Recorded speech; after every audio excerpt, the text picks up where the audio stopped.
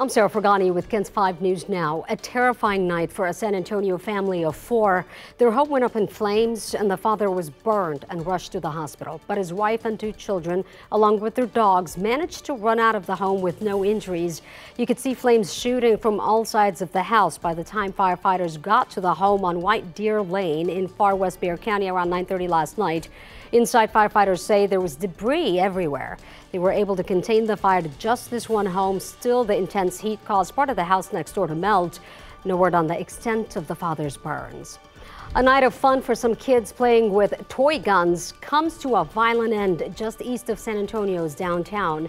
Right now, two teens are fighting for their lives in the hospital. Police say around 8 Monday night, five teens were sitting in a car playing with toy guns that shoot water beads. They were on East Commerce and North Swiss Street when a car drove up and someone with a real gun started shooting at them. Two of the kids were shot in the torso. They're now in critical condition. Police are still trying to track down the shooter. It was just not even two weeks ago that a local mom told KENS 5 that she was afraid someone would get hurt playing with toy guns. She heard what she thought was gunfire in her Southside neighborhood and called police. She found out from officers that a bunch of teens were playing with airsoft guns or bead blasters. The woman told KENS 5 she was worried the toys would cause someone with a real gun to shoot. She hoped her warning would cause parents to have conversations with their kids about playing with fake guns in public.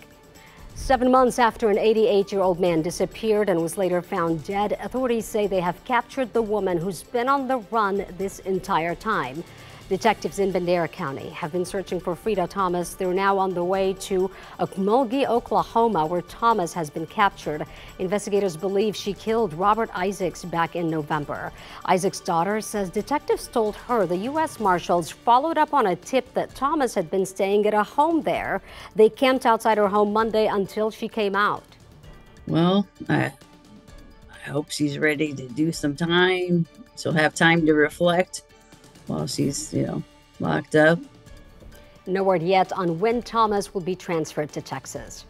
A San Antonio middle school teacher has been fired after a video posted on X, formerly Twitter, went viral, alleging she used a racial slur in class. It reportedly happened at Northeast ISD's Bradley Middle School last week. In that social media video, a man claims his niece's sixth grade math teacher said the N word during a lesson. He said the class had just finished watching the movie Hidden Figures, which highlights three African American mathematicians who were crucial to NASA's space program in the early years. On discussing the hiring practices of back then, told a classroom full of students that they didn't hire N words, hard ER, back then. A Northeast ISD spokesperson responded in a statement saying, quote, we appreciate the parent who brought forward this concerning allegation. We do not condone racism and take this allegation very seriously, end quote. NEISD said they fired the teacher on Monday. The family of the man hit and killed on his scooter near South Park Mall says they're devastated as they plan his funeral. Edward Fernandez was riding his scooter off South Zarzamora Friday night when a driver hit him. His sister says her brother was out running errands and had just picked up his wife's medicine. Life is short and, and you from one day to the next you're gone and you know just slow down a little bit that's all. You know I myself have to practice what I preach.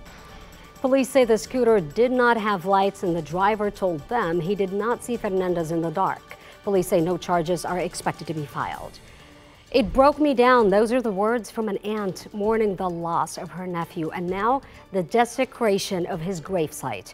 Ann Martinez tells us Larry Alvarez Perez was laid to rest at the Elmendorf Cemetery. Family gathered to remember what would have been Larry's 22nd birthday 10 days ago. But just days later, someone stole the headstone. Martinez says these vandals are hitting her nephew's gravesite on birthdays and death anniversaries. Larry's gravesite has been urinated on. Larry's gravesite has been vandalized by other things that have been put there and have been broken into pieces. And Larry's gravesite has also been shot at. Martinez says they filed a police report. Now they're asking anyone with information about the headstone to please come forward. The 21 victims of the Robb Elementary School shooting are being honored by the South Texas Blood and Tissue Center as we approach the second year since the tragic shooting. The center has come out with this special shirt remembering the 19 children and two teachers killed. Donors can use their donation points to get the shirt, which says United for Uvalde. All proceeds will go toward the Uvalde Strong Fund through the San Antonio Area Foundation to support the survivors, victims' families, and the Uvalde community. Donors can redeem points until the end of the month at southtexasblood.org slash donor store. And for today's forecast, we want to check in with Palmerades. All right, let's take a look. High today, 96. Heat index today, about 103, 104. Make sure and stay hydrated, and it is going to be a warm evening. That's KENS 5 News Now. I'm Sarah Forgany.